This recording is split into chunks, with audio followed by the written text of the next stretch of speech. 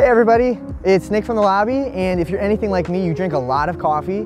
I'm always trying to find new ways to make my coffee different, and one of my favorite ways to do that is to do infused coffee.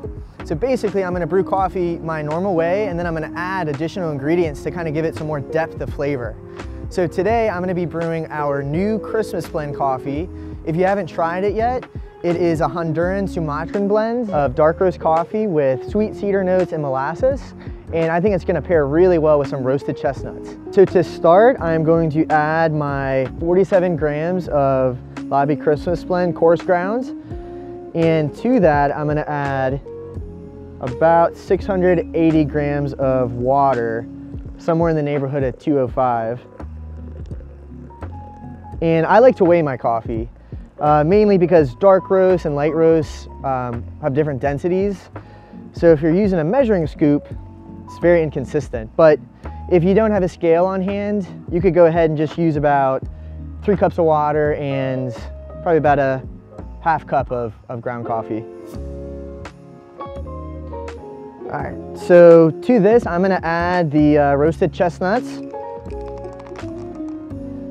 And I'm gonna set the top on. And I'm not gonna press it uh, quite yet until it's brewed for five minutes.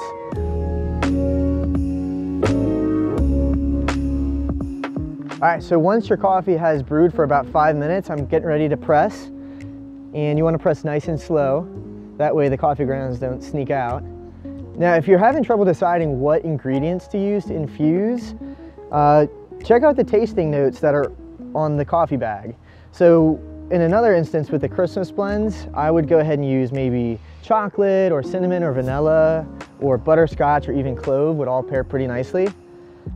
All right, let's give this a taste. Okay, so I taste the sweet cedar, I taste molasses.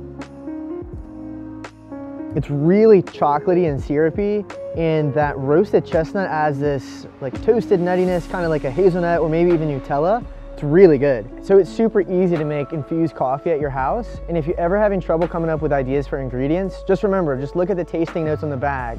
So with our Lobby Christmas blends, chocolate, cinnamon, butterscotch, molasses, or clove would be really good. And also I wanna let everyone know that dining in is still open at the lobby and we got brand new patio heater so it's really comfortable outside. Thank you guys for watching and until next time, cheers.